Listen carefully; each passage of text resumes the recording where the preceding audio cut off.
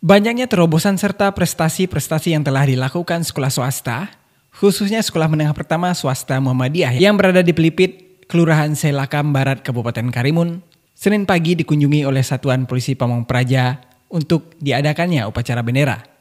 Bertindak selaku Inspektur Upacara Kepala Satpol PP Karimun, Zifridin. Upacara bendera sendiri berjalan dengan lancar dan hikmat. Kehadiran Satpol PP ini antara lain untuk memberikan motivasi serta memberikan pencerahan kepada siswa dan siswi sekolah swasta yang satu-satunya menerapkan sistem full day school di Kabupaten Karimun. Kesiapan siswa dan kesediaan orang tua wali murid menjadi faktor terpenting dalam program pencanangan serta instruksi dari Menteri Pendidikan tersebut diharapkan nantinya dapat berjalan dengan lancar. Kegiatan ini dapat menjadikan hal positif dan juga sebagai contoh bagi sekolah-sekolah lain yang berada di wilayah Kabupaten Karimun. Di samping memberikan pencerahan serta motivasi kepada para siswa, juga diberikannya arahan-arahan serta bimbingan yang dapat dilakukan oleh siswa untuk lebih baik lagi, belajar, dan mendapatkan prestasi yang lebih membanggakan. Dalam kesempatan ini juga diharapkan kepada seluruh guru pendamping agar menambah profesionalitas mereka dalam bertugas dan menjalankan fungsinya masing-masing. Kepala Satuan Polisi Pamong Praja Kabupaten Karimun, Zifridin mengatakan, Kehadiran Satpol PP Kabupaten Karimun untuk memberikan pencerahan dan juga motivasi kepada para siswa SMP Muhammadiyah. Karena di SMP Muhammadiyah ini sendiri mempunyai terobosan-terobosan yang baik, seperti instruksi Menteri Pendidikan yang nantinya akan dilaksanakan full day school diadakan. SMPS Muhammadiyah sudah berjalan.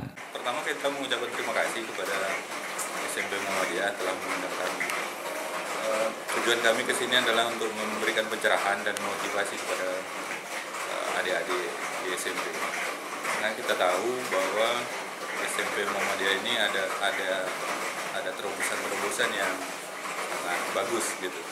Karena saya bilang tadi bahwa menteri menteri pendidikan aja menyuruh untuk full day gitu school tapi Muhammadiyah sudah duluan gitu dibandingkan dengan dengan kawan-kawan yang lain uh, terus kehadiran kami juga untuk membuat supaya mereka sadar adik-adik itu sadar bahwa tugas kita itu adalah untuk menertibkan jadi kalau mereka melanggar aturan-aturan kemudian uh, tidak tertib ya itu tugas kami untuk menganukan mereka gitu.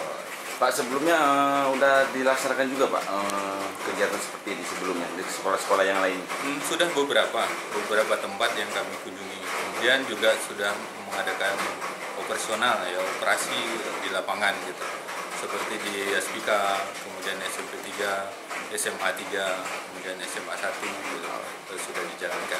Sementara itu Kepala Sekolah SMP Swasta Muhammadiyah Karimun, Yuli mengatakan, Sekolah SMP Muhammadiyah sendiri sudah melaksanakan full day school sesuai dengan program pemerintah dari Menteri Pendidikan Nasional. Konsep dari kegiatan ini untuk menghindari para siswa dan siswi dari kegiatan-kegiatan negatif. Uh, untuk sekolah SMP Muhammadiyah sudah terlaksana pada tahun ajaran 2016-2017 ini dan kami sudah menjalankannya.